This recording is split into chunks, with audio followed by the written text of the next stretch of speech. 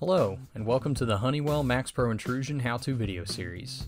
In this tutorial, we're going to cover how to configure automatic arming and disarming schedules for areas on a MaxPro Intrusion controller. To set this up, first log into your MaxPro Cloud account.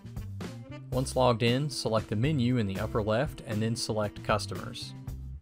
Choose the customer and then site on which you wish to configure automatic arm or disarm schedules.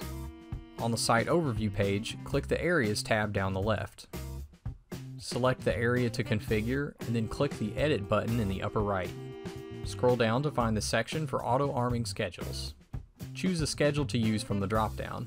This will only be populated with schedules that have already been created on the customer overview page, so the schedule must be created first. There is a separate video about how to create schedules. Once the schedule is chosen, a preview will appear below with some additional dropdowns. Choose what will happen at the start and end of the schedule. You may have it disarm at the beginning and arm at the end, or select nothing for either option. You may also set a pre-warn period. This sets how many minutes before the area is scheduled to arm for a warning to be enunciated on the area's keypads. Once all options are set, click Save at the bottom to finish. Keep in mind to switch the controller to installer mode to download the configuration to the controller.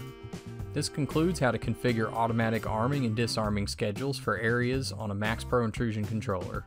Explore our trainings and discover your potential. Go to HoneywellDiscoverTraining.com.